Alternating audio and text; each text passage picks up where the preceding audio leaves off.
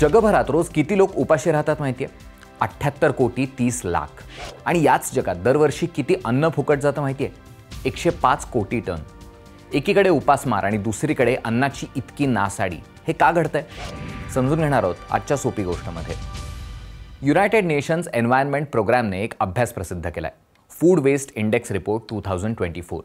त्यानुसार जगभरात खाण्यासाठी उपलब्ध असलेल्या खाण्यायोग्य अन्नापैकी एकोणीस टक्के अन्न दरवर्षी वाया जातं.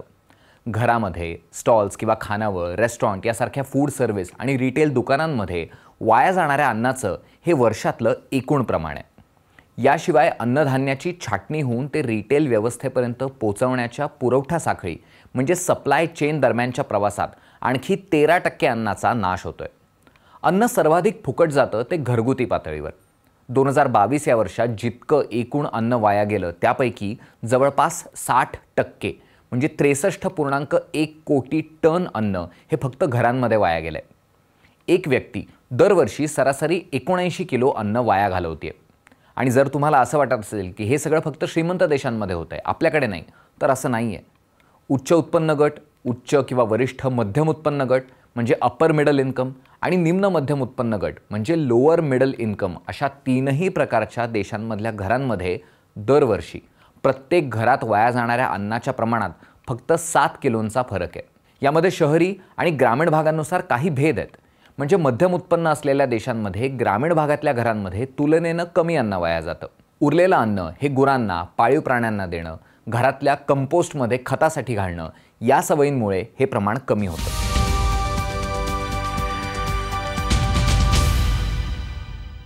आता इतकं अन्न का फुकट जात आहे तर उष्ण हवामान असणाऱ्या देशांमध्ये अन्न वाया जाण्याचं प्रमाण अधिक आहे.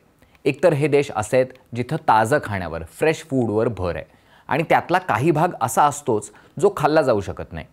शिवाय या देशांमध्ये कोल्ड चेन म्हणजे अन्न नियंत्रित तापमानाखाली साठवून ठेवण्यासाठीच्या सोयी पुरेशा नसल्याने सुद्धा नासाडी होते.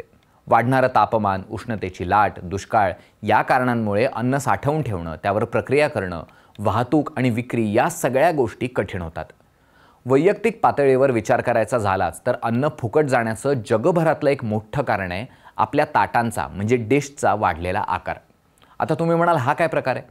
तर एकोणीसशे सत्तरच्या दशकात साधारण बावीस सेंटीमीटरची असणारी डिनर प्लेट आता वाढत वाढत अठ्ठावीस सेंटीमीटरची झाली आहे जवळपास एक फुटाला टेकली आहे ताटाचा आकार वाढल्यामुळे पोर्शन साईज म्हणजे आपण किती अन्न वाढून घेतोय त्यातही वाढ झाली आहे परिणामी एकीकडे माणूस जास्त खायला लागला पण दुसरीकडे पानात वाढलेलं अन्न फुकट जाण्याचं प्रमाणसुद्धा वाढलं.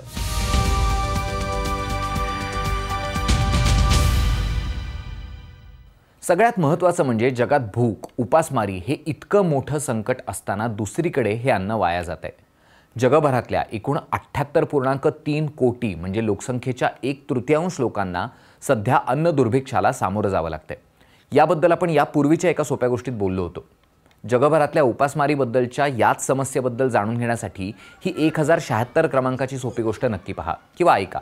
जगभरातल्या एकूण ग्रीनहाऊस गॅस उत्सर्जनापैकी आठ ते दहा टक्के गॅस उत्सर्जन हे वाया गेलेल्या अन्नामुळे होणाऱ्या कचऱ्यातनं होतं आहे तुलना करायची असेल तर एव्हिएशन सेक्टर म्हणजे हवाई वाहतूक क्षेत्रामुळे होणाऱ्या एकूण ग्रीनहाऊस गॅस एमिशनपेक्षा हे प्रमाण पाच पटींनी जास्त आहे. हे गॅसेस हवामान बदलाला हातभार लावतात.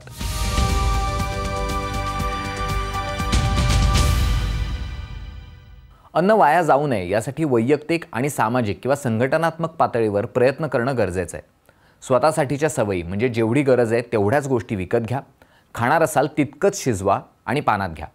उरलं तर फेकून न देता त्याचा वापर करा. मोठ्या पातळीवर काय करायला हवं? तर पुरवठा साखळी सुधारायला हवी. नाशिवंत फळं भाज्या याच्यावरच्या प्रक्रिया उद्योगांना प्रोत्साहन द्यायला हवं. नवीन टेक्नॉलॉजी वापरून अन्नाचा पदार्थांचा दर्जा सुधारण्यावर भर द्यायला हवा. अन्न वाया जाण्याचं प्रमाण घटवता येऊ शकतं हे जपान आणि यू के या देशांनी दाखवून दिलं आहे फूड वेस्ट कमी करणं हे गरजेचं आहे कारण ज्यावेळी अन्न फुकट जातं त्यावेळी ते पिकवण्यासाठी लागलेलं पाणी जमीन इंधन मजुरी पैसा हे सगळं वाया जात असतं. भविष्यात याच सगळ्या कारणांमुळे महागाईसुद्धा वाढू शकते. ही होती आजची सोपी गोष्ट. तुम्हाला कशी वाटली? आम्हाला कमेंट्समध्ये नक्की सांगा. आणि आठवणीने ही सोपी गोष्ट इतरांबरोबर शेअर करा. धन्यवाद.